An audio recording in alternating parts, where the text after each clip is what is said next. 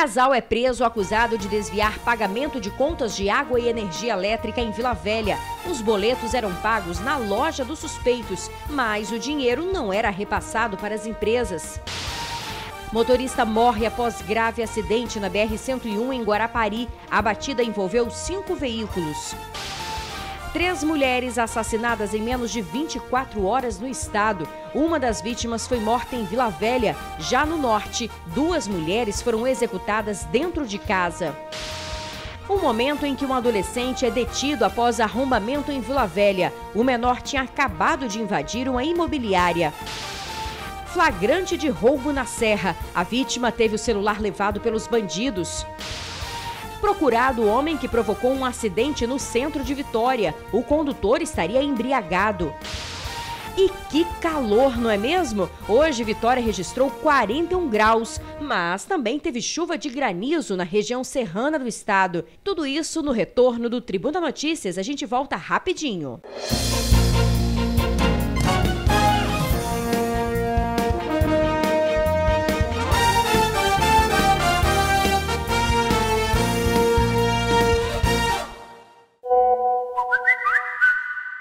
Boa noite. Casal é preso acusado de aplicar golpes em Vila Velha. Eles recebiam dinheiro do pagamento de contas de água e energia elétrica, mas não repassavam para as empresas.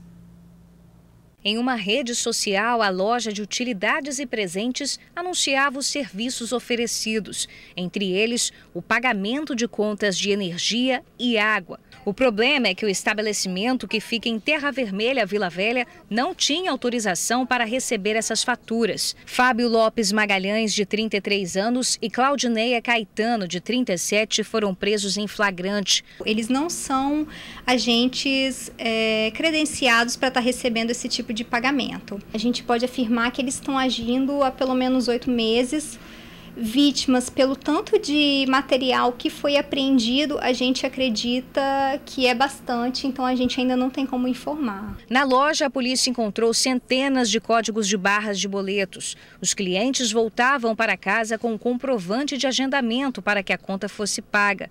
Só que o pagamento, por vezes, era feito com atraso e, em geral, ainda cobrava o valor de R$ reais por cada boleto. Por isso que a gente gostaria de orientar a população que a princípio é, façam esses pagamentos apenas em agências reguladas, é, é, é de fácil acesso, vocês podem estar verificando no site.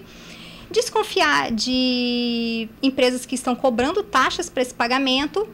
E o principal, na hora de realizar esse pagamento, eles têm que fornecer a autenticação mecânica ou o recibo de que você está pagando naquele instante. A polícia descobriu o golpe depois de uma denúncia feita pela própria concessionária de energia. É que alguns clientes que pagaram boletos na loja do casal chegaram a ter a energia de casa cortada. Na página da loja, em uma rede social, comentários de vítimas. A mulher relata que ficou com o nome sujo depois de pagar uma conta de água na loja. Em outro caso, o cliente teve problemas depois de pagar uma fatura de mais de 600 reais. Esta outra vítima conta que quando descobriu o golpe, teve a energia de casa cortada. Isso nos demonstra que ou eles retinham esse dinheiro para eles ou eles depois giravam esse dinheiro e na hora que a pessoa realmente reclamava, informava esse corte de energia, eles pagavam com atraso. Fabiano e Claudineia saíram da delegacia sem falar com a imprensa. Eles foram autuados pelo crime de estelionato. Olha, a EDP disse que está prestando todas as informações necessárias para contribuir com as investigações e orienta que os clientes podem consultar o nome e endereço dos agentes credenciados no site edp.com.br barra agentes EDP. Se você preferir, pode ligar para o 0800 721 0707. Uma pessoa morreu em um acidente na BR-101 em Guarapari. A rodovia ficou interditada por mais de quatro horas. A batida envolveu um caminhão e quatro carros. Foi no início da tarde, na zona rural do município. A BR precisou ser interditada nos dois sentidos, na altura de Barro Branco. Segundo motoristas envolvidos no acidente, o condutor de um carro teria invadido a contramão e atingido um caminhão que vinha no sentido contrário. O motorista do carro morreu no local. A mulher que estava no carona foi socorrida para o Hospital São Lucas, em Vitória. Um longo congestionamento se formou por causa do acidente. O trânsito agora já está liberado no trecho. Procurado o motorista que provocou um acidente no centro de Vitória. Ele estaria alcoolizado em alta velocidade e bateu em um carro que estava estacionado. Câmeras de vídeo monitoramento flagraram o momento em que o veículo sem controle atinge em cheio outro carro que estava estacionado. O acidente aconteceu na rua Graciano Neves, no centro de Vitória. O caso foi no domingo à noite, período em que acontecia um bloco de carnaval aqui no centro de Vitória. Segundo testemunhas, o condutor do veículo dirigia em altíssima velocidade. Neste outro vídeo, populares tentavam impedir que o condutor fugisse, mas não teve jeito. Quando a polícia chegou, ele já não estava mais no local. Um susto para o seu Luiz, proprietário do carro atingido. Tudo eu escutei um barulho muito forte, né? Aí eu corri na porta para ver o que, que era e constatei meu carro todo arrebentado em cima da calçada. É, o motorista que bateu estava totalmente embriagado, um ocupante, uma menina que estava com ele e um outro rapaz também, todos, dois, todos três embriagados, entendeu? Nós acionamos a polícia, levou 40 minutos para chegar no local. O interessante é que tinha um carnaval, centro de Vitória, que tinha que ter pelo menos um carro da polícia próximo. Né? O seu Luiz registrou o boletim de ocorrência no Batalhão de Trânsito de Vitória. O carro tem seguro, mas o transtorno causado foi grande. É que o filho dele é deficiente físico e dependia do carro para a locomoção. Ele foi adaptado para ele e eu vou ficar sem como conduzi-lo. Né, porque ele faz, frequenta a pai, frequenta fazer outro, outras atividades que não, eu não tenho como, né, até que se resolva isso aí. É, realmente é um transtorno, né? Olha, a Polícia Militar disse que o suspeito não foi localizado e que a informação de demora no atendimento da ocorrência será apurada pelo CIODES. Sobre o bloco, afirmou que atua com reforço nos eventos de carnaval em via pública que possuem autorização das prefeituras. Duas mulheres foram assassinadas a tiros no norte do estado. Andréia Mendes, de 28 anos, e Poliana Correia Santana, de 33, estavam em casa quando foram surpreendidas pelos criminosos. Os bandidos chegaram de carro e invadiram a residência. Poliana foi morta com 12 tiros. O corpo dela foi encontrado no sofá da sala. Já Andréia foi atingida por três disparos e morreu na hora. O crime aconteceu em Linhares, no bairro Nova Esperança. Um dos suspeitos teria ido até a casa das vítimas pouco antes do crime. Olha, quem tiver qualquer informação sobre os criminosos deve ligar para o Disque Denúncia 181. Em Vila Velha, mais uma mulher foi vítima da violência. A família, neste caso, suspeita de crime passional.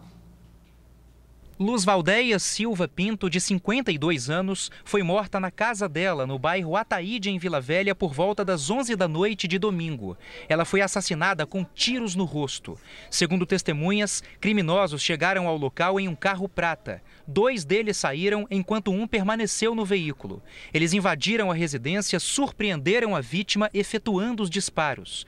Os criminosos levaram a televisão, mas a família não acredita que Luz Valdeia tenha sido vítima de assalto. Como é um quintal de familiares, de família, que é uma chácara, mora todo mundo junto, é, eles ouviram os tiros, aí foram so tentar socorrer a minha mãe, só que ela já veio a óbito. Eu já acordei com o barulho dos disparos, parecia que estava dentro da minha casa. E dali eu já comecei a pegar os meus filhos, botar pro canto do quarto, desesperada, né?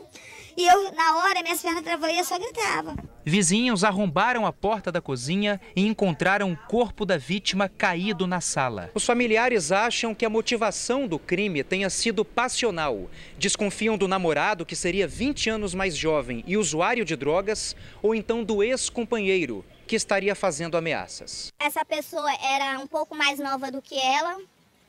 E mas, tipo assim, e só tava com ela por interesse, não era presente na vida da minha mãe em nada. Só vinha para tirar da minha mãe, sugar da minha mãe. Luz Valdeia trabalhou durante 30 anos nesta funerária no centro de Vitória. Era uma pessoa feliz e dedicada ao trabalho. Ela era uma mulher muito trabalhadeira, trabalhou numa empresa há 30 anos. Ela estava feliz, perto de se aposentar e falou bem assim: agora eu vou curtir a minha vida. A gente espera a justiça de Deus, porque a gente não sabe quem é, mas Deus sabe. Bem, até o momento, nenhum suspeito foi preso. Bora mudar de assunto? Quem trabalha nas ruas tem percebido o calor que tem feito nos últimos dias. E hoje não foi diferente. Os termômetros registraram 41 graus em Vitória. A repórter Keila Lopes está na praia de Camburi neste momento. Será que lá está mais fresquinho perto do mar, hein, Keila? Boa noite. Olá, Isabela. Boa noite a você, boa noite a todos. Pois é, por aqui neste momento venta um pouquinho, mas a, a, gente consegue ainda sentir que o tempo está abafado, o clima é quente já nesse início de noite. O calçadão tem muita gente caminhando por aqui. É, eu conversei, nós chegamos aqui por volta de sete da noite. Eu conversei com algumas pessoas que estão aproveitando aqui para fazer atividade física. Encontrei inclusive mineiros aqui que acredite, falaram que aqui está mais mais fresco que lá em Minas. Pois é. Então, por aqui, as pessoas aproveitam para fazer atividade física, mas o calorão é intenso. Durante o dia, segundo o Clima Tempo, hoje foi o segundo dia mais quente do ano, com 37 graus. E quem passou o dia aí trabalhando nas ruas, é, resolvendo os seus compromissos, né? Quem estava nas ruas, enfrentou esse calorão. E quem também enfrentou esse calorão hoje foi o repórter Felipe Chicarino e o cinegrafista Bruno Passos. Vamos acompanhar na reportagem. Expectativa, realidade. 41 graus, 41 graus na capital Vitória. E com certeza a sensação térmica tá bem, mas bem mais do que isso. Quem é Rio de Janeiro, Belém, Cuiabá, ah, aqui é Vitorinha, meu irmão. Sensação térmica de 51 graus. Tá bom pra você? Só não dá para comparar com Cachoeira e Colatina, né? Se esconder do sol é preciso. Vale sombrinha ou até mesmo uma pasta na cabeça. Tem que andar de pasta, que esse calor tá muito forte, meu irmão. Tá puxado, né? Tá puxado. Né? E quando o carro não tem ar-condicionado, hein? 41 graus, aí dentro tá aqui uns 50? Ah, deve estar. Tá. Tô igual a tampa de chaleira. Cadê o ar-condicionado? Rapaz, tá com problema aqui. o INPE, o Instituto Nacional de Pesquisas Espaciais, apontou o Espírito Santo como uma das regiões mais quentes do Brasil nos últimos dias, com média de temperatura máxima de 38 graus. É sério, INPE? Nem tinha percebido, nem meu corpo. é ruim, hein? A gente tem um problema de alguns ambientes não estarem ainda adaptados para tanto calor. Então, esse verão foi realmente um, um, excepcional. E a gente vem vê relatos de pessoas passando mal em igrejas, em, em determinadas situações onde elas não podem, ônibus, onde elas não podem, não tem como se escapulir daqui, da, daquela situação, né? Acaba que a gente tem um desgaste muito maior, a gente trabalha num, num processo de exaustão, não é à toa que você termina um dia quando você passa muito calor, a impressão que você tem é que você está exausto, que você fez atividade física extenuante. Já que hidratar é preciso, o vendedor de coco tá de boaça, né? Tô trabalhando, tô tirando meu sustento, né?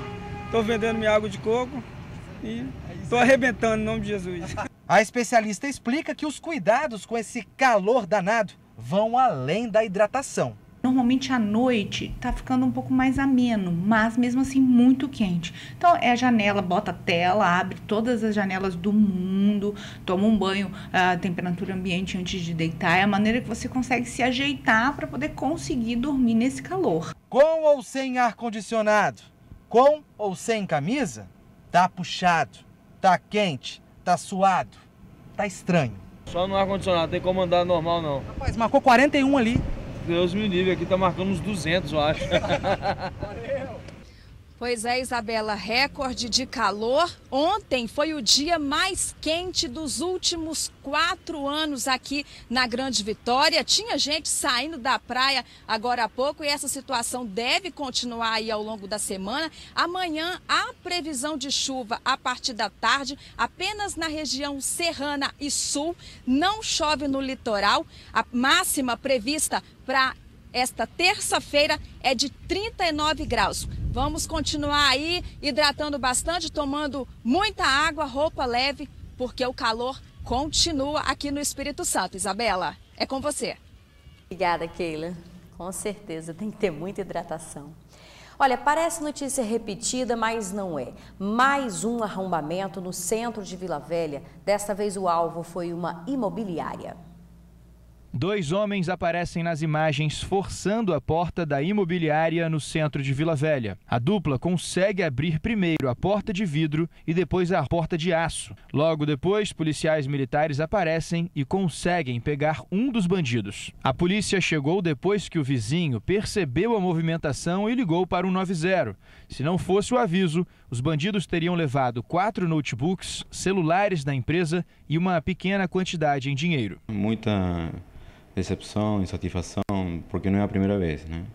Então já é a terceira, a quarta vez que entraram aqui no prédio e realmente sempre fica é, essa insatisfação de segurança. Né? A última invasão aconteceu em novembro do ano passado. O criminoso conseguiu acessar o estacionamento da empresa e tentou arrombar esta porta lateral.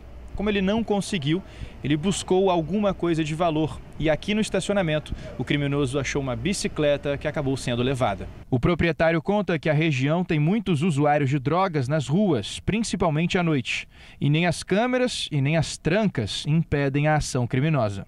As câmeras todas funcionando, eles olhando para a câmera, é, você percebe que não, não estão preocupados. O rapaz pego pela polícia é menor de idade, tem 17 anos.